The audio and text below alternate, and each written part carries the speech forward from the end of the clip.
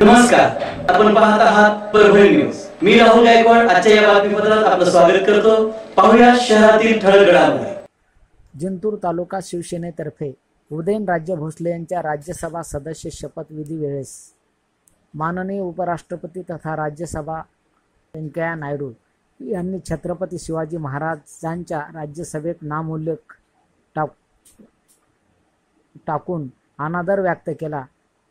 त्याबद्दल जिंतूर तालुका शिवसेनेतर्फे निषेध व्यक्त केला आहे.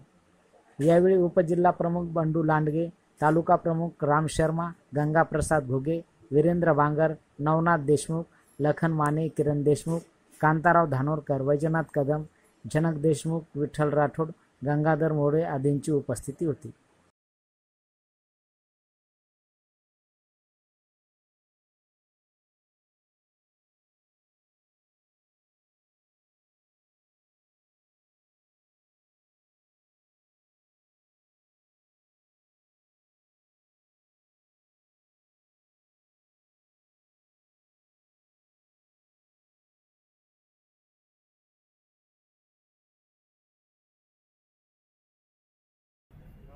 राज्यसभेची शपथ घेत असताना छत्रपती शिवाजी महाराजांचे तेरावे वंशज आदरणीय उदयनराजे भोसले साहेब.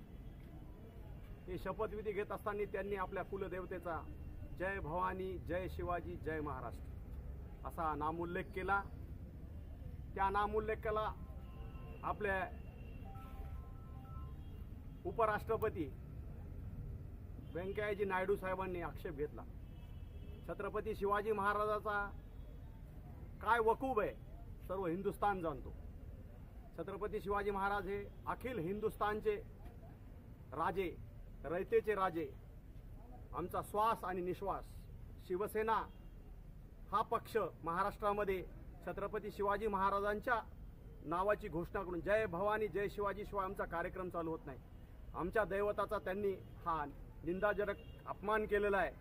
याचा आम्ही तीव्र धिक्कार शिवसेनेच्या वतीनं करतो. या ठिकाणी उपजिल्हा प्रमुख बंडूजी लांडगे रामजी शर्मा या ठिकाणी उपस्थित आणि समस्त पदाधिकारी शिवसेनेत. या ठिकाणी आम्ही आदरणीय संजय जाधव साहेब आमचे खासदार यांच्या नेतृत्वाखाली आ- या ठिकाणी तालुक्याचे तहसीलदार सुरेशजी शेजूळ यांना आम्ही निवेदन दिलंय आणि या शब्दाचा आम्ही तीव्र निषेध करतो. यानंतर रामजी शर्मा.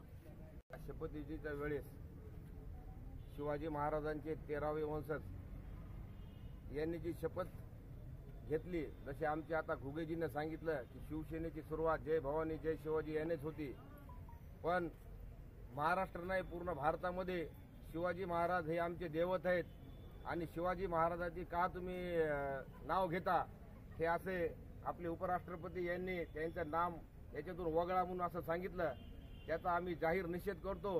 आणि निषेध केल्यानंतर आज माननीय तहसीलदार साहेब यांना आम्ही शिवसेना तालुका जिंतूरच्या वतीने आणि याचबरोबर आजचं हे बातमीपत्रक संपलं.